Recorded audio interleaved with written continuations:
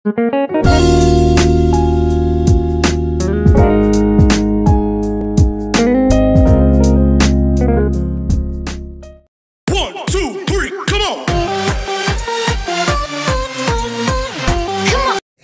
guys, good afternoon and welcome back to my channel. This is Venus and sa ngayon guys, eh, meron po tayong i-unboxing. Ito ang aking bagong phone. So ito, isi-share ko lang sa inyo guys kung bakit gusto ko siyang bilhin. Ah, dahil ano ito, ah marami naman na tayong napanood sa mga review about sa Tecno Fobor 4. Ayan siya guys. So, ngayon, titingnan natin at i-review ko din sa inyo kung satisfied ba ako sa nabili kong phone. So, eto na nga guys. Keep on watching. Pinaliktad din, no? So, ito kasi yan. Yung pinaka-screen size niya, 7 inches yan. Ito, Malabo. manipis lang siya yung width niya. Oh. So, handy pa din kahit na malaki yung screen. Ang, ang kagandahan lang kasi dito pag malaki yung screen mo, pag nanood ka ng movie, mas malaki yung view.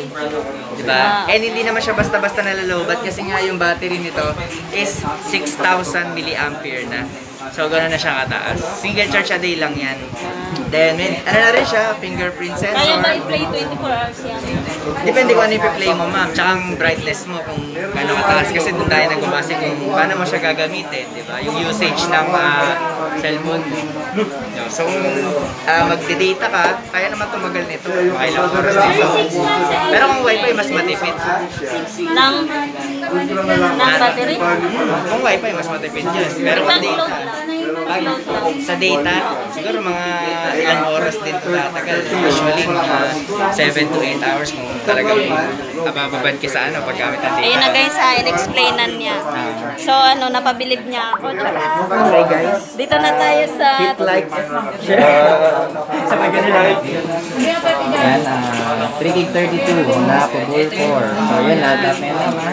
Malaki. Malaki yan. So kung gusto mo makakawak ng malaki, eto na yun. Pagkakataon mo. Oo, eto na. Malaki na tumatagal. Sa paggamit.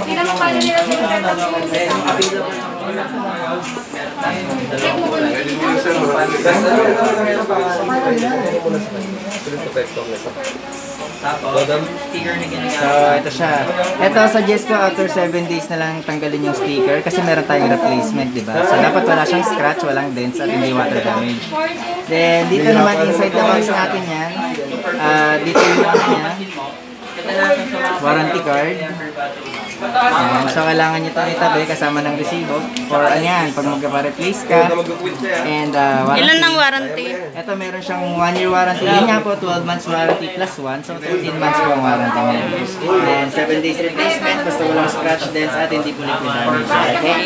So, inside the box, meron na siyang uh, protective case at saka uh, film.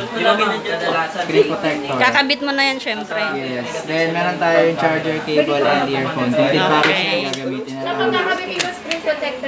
Ah, sige po. So, meron tayong bagong training ngayon. Diamonds tayo. Free yan. Yeah, yeah, yeah. Jelly case po siya. So, foldable siya. Foldable. Parang ano pa, folding bed. Foldable. Durable naman siya. Tsaka maganda sa kanya kasi yung finish niya parang hindi madulas. Ah. And hindi siya usual na case lang kasi meron siyang ano, cover para sa earphone and charger. So hindi pa pasok na Okay. alikabok. Yun. Okay, na. Card. Kaya nagsasalita eh. Forward ko yan. Ay, papas forward mo pala yan.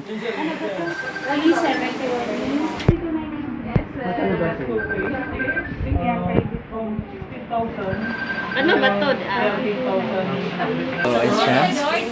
Ang setup natin, United States, and lagyan natin sa country natin. Okay, Philippines. So, wala muna tayo lalagyan na SIM card.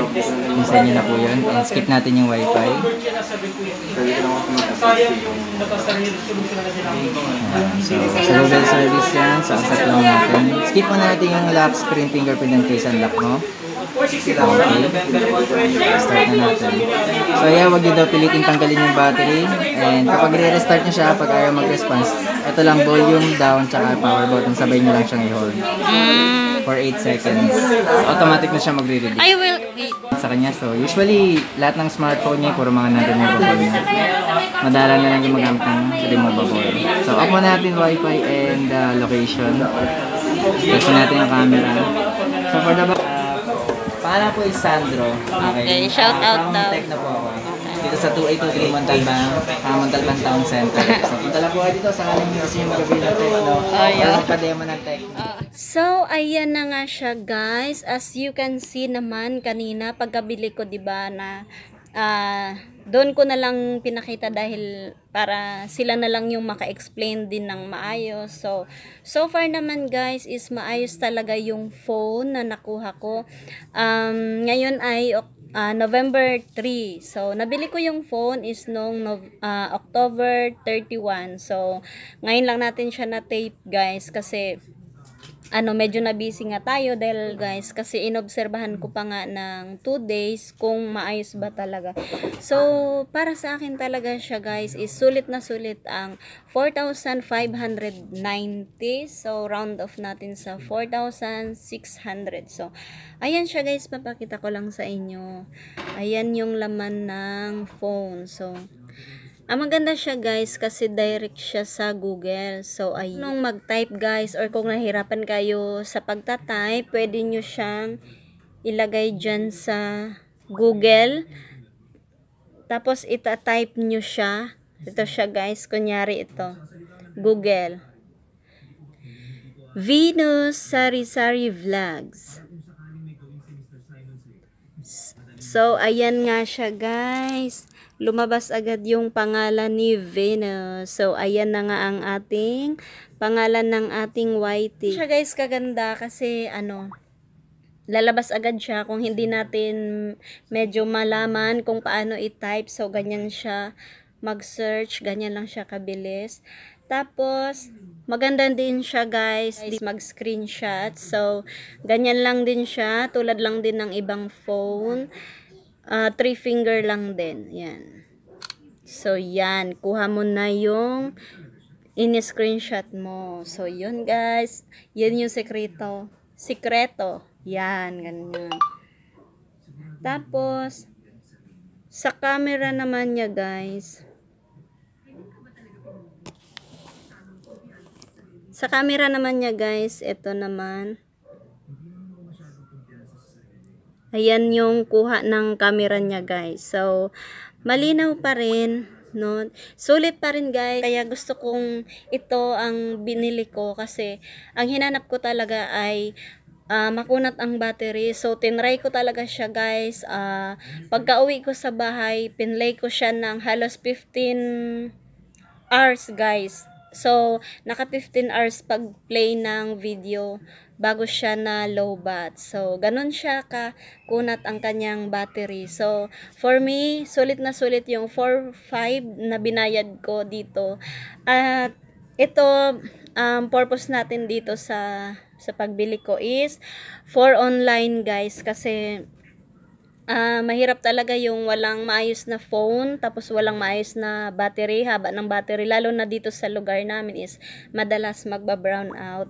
Ayan siya guys. So, sulit ang aking 4.5 sa Tecno Favor LC7 guys, yung um, ano niya. Yan lang guys. So, thank you for watching. Thank you so much sa lahat ng nanood. Ayan. So, kung gusto nyo ng matibay, mahaba ang buhay ng battery, at saka syempre, malaki. Ay 7 inch siya. And saktong-sakto siya pag nag-i-edit ka, no? Magan or pag naglaro ka ng ayan saktong-sakto lang yung ano mo guys kasi hindi siya matatakpan ng kamay mo pag nagpindot ka or pag nag-edit ka. Yun. Yan siya. So thank you so much at na-meet ko yung gusto ko sa phone.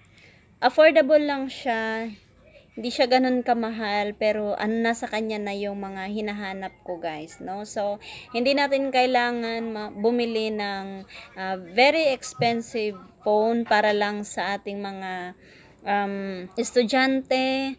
Sa online class importante is nakakasunod sa teacher no? So ayan lang siya guys. Thank you for watching. Bye bye Okay, thank you for choosing Techno.